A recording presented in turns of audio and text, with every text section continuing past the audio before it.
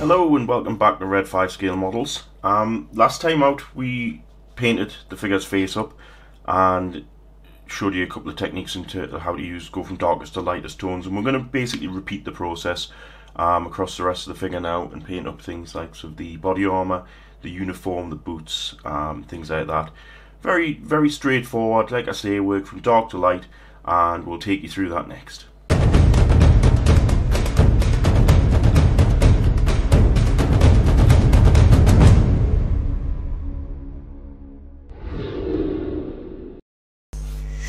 Okay, so what we're going to start off with now is um, what we call zenithal, um, zenithal highlighting. It's basically just to help you get an idea of the shadows and, and, where the light would be hitting the figure from. You just take a flat white in an airbrush and at about kind of that kind of angle, a decent distance, about five to five to six centimeters away. Give it a quick dust over. Nine on top down. Picking out the more raised areas and then you'll see it's helped really bring out the shadows. Once that's dry we'll move on to the next step. Okay so that's the Zen Zenithal uh, highlighting base coat done. Uh, I used a black Vallejo primer for it. Um, I tend to use black for 99% of the things I build. If you've got a particular colour you like, go with that, but I think black... Yes, it's very dark, isn't it? It's uh, almost black. Johnny? Yes, I shall. I shall need to get the black out. Johnny? Yes, yes black. Black. Black like the clouds of death that follow me into the forest of doom. Blood figures with the zenithal highlighting works a lot better. Um, now I'm going to use a colour from Vallejo's Model Air range, light brown, because the majority of his uniform is that kind of khaki, yellowy, light brown colour. Um, don't worry about going on to things like sort of the armour plating, um, backpacks, boots and things, because we're going to come in and brush, um, paint those with a brush at a later date.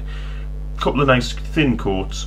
It's easier with an airbrush. If you don't have an airbrush, like I did with the figure, base coat it with some nice thin coats. Airbrush just helps make it a bit more even and a bit quicker. Right, so that is the um, the light brown dried there, and the body armour that the man's wearing or the figure's wearing is a, is a kind of Russian camo scheme. And what I'm going to use for that is a colour from Vallejo again. It's actually Model Air colour, but because we're putting it on in such thin coats, you can get away with using it with a brush. It's called um, light green chrome, chromo, um, and then basically just block out the areas that are going to be using this paint. And then what we're going to do is a couple of thin coats and I'll get back to you with the next step. Okay, so that's the first um, colour down on the camo pattern. It's just a case, next step of putting down, I'm using in this for this colour, colour called khaki um, from the model colour range um, and basically just put in blobs of the khaki because there's going to be a brown a dark green going on. So just blob it on. All over. And repeat the process with a dark green and a brown. I'll come to that. Uh, sorry I'll show you that when I get there. So I've finished the body armor off. I'm going to let it dry. It's very rough but it is just to fill in the, the, the, the areas block it out fill in the uniform fill in the body armor, um, fill in the boots black, brown, whatever they want to do. I'm going to paint that a, a, a green colour and then once all that's dry and I've filled it all in, I'll get back to you for the next step. Right, okay, so that's all the base layers dry. We've just blocked out colour, done a little bit of the detail on the vest there just so you get the idea of um, what's going on.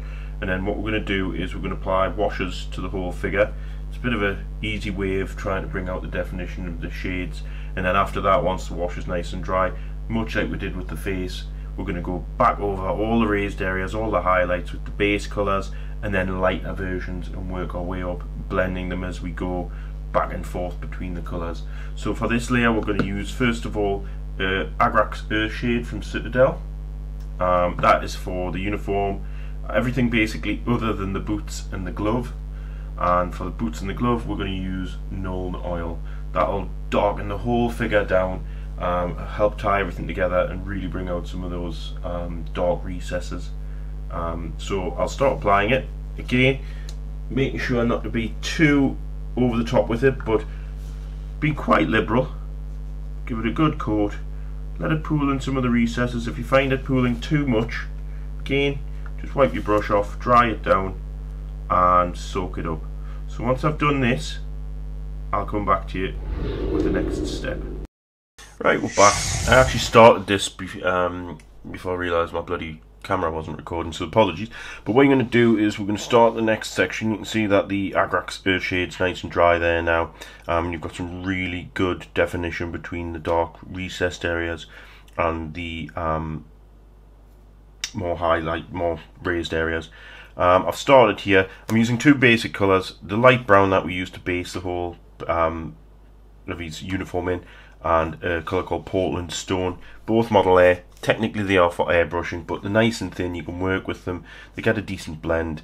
And to be honest I pick I've got a whole load of colours. I've got Tamiya, Citadel, Model Air, Vallejo, Model Colour, MIG. I just use whatever's at hand rather than sticking to specific brands if I like the colour um, I can, you can make it work normally and I find it just it's more than ample for, for figure painting um, and it's just a case of basically getting your triple zero brush loading it up I'm not using a wet palette for this particular paint because it's already wet enough. Um, just stick it on to the raised areas. Work with it as best you can whilst it's nice and wet. Um, and highlight areas at the edge of the clothes. Be careful, don't go too far in. You're going to um, take advantage of the fact that the Agrax Earthshades made the um, base light brown go a nice darker colour anyway um, and then just try your best to get that nice blend as best you can again this is kind of diorama quality it's not going to be entering any specific figure painting categories um, I made a 50-50 blend mix of the two colours. Um, so we're going to stick that one again working a little bit further up a little bit more on the pronounced details trying to get a nice highlight on the edge of fabrics um, just to kind of accentuate the folds. These resin figures have got a lot of very very nice details. I would highly recommend them over just molded plastic kits um, like your master boxes and your Tamiyas and things um, they are a lot more expensive but you get what you pay for very much so. And being honest it makes the painting of the actual figure so so much easier. So I'll leave you or rather I'll fast forward this um, just so you can see how I go about it. I'll not show you the whole thing you don't want to listen to it or watch it all and I'll get back to you once I've done the majority of the uniform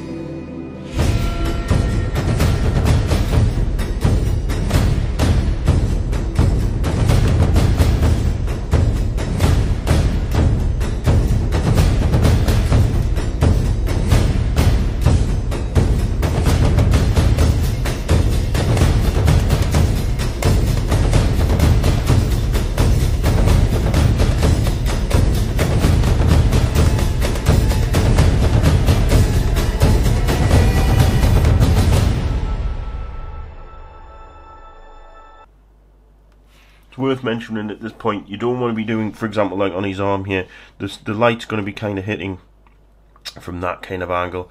So you want to try and just highlight the front of the arm try leaving the back um, areas that are going to be closer to the actual armor itself um, just to get a bit of a blend going there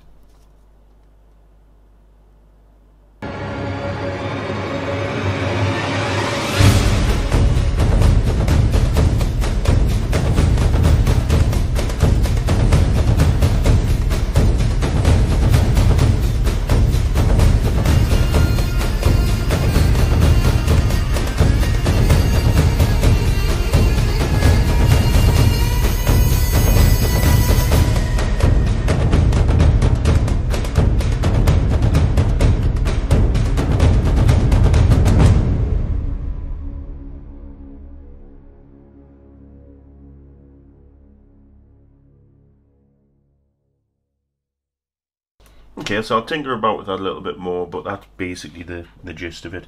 Things like the vest, I'll go in and highlight the top sections again with the base colour for yellow and the brown, uh, so the, sorry, for the green and the brown, probably add a bit of yellow to them just to make it stand out, edge highlights and things like that.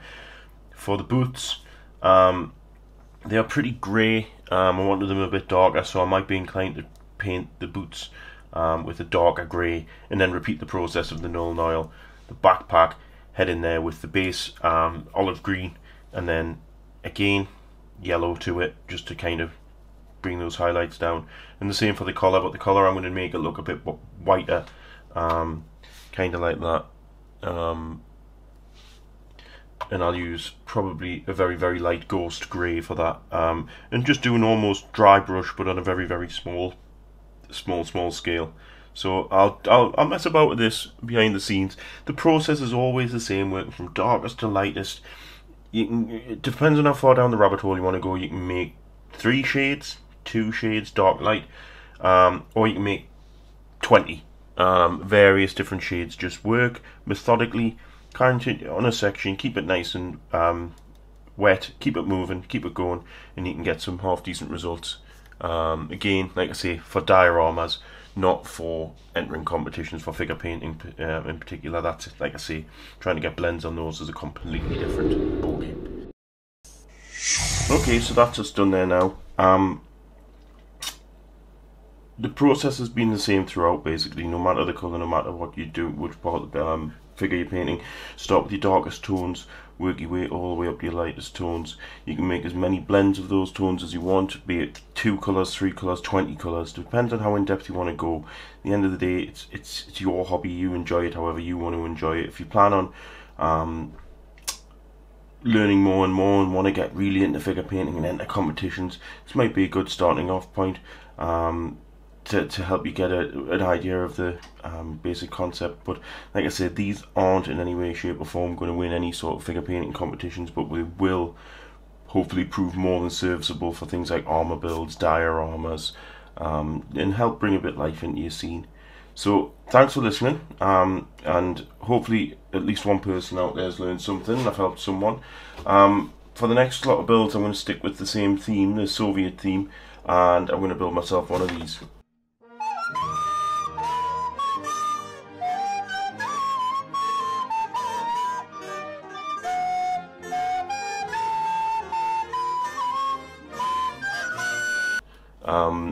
See how it goes. I'll do a video to go along with it. It's not going to be particularly in the, the, the nitty gritty of how to assemble a kit and things like that. It's going to be more of weathering processes, painting techniques, um, stuff like that. I will show a bit of the build, how how I go about cockpits and things. Um, and if you like what you've seen so far, subscribe to the channel for more updates and follow me on at Red5Models on Twitter. And thanks for listening.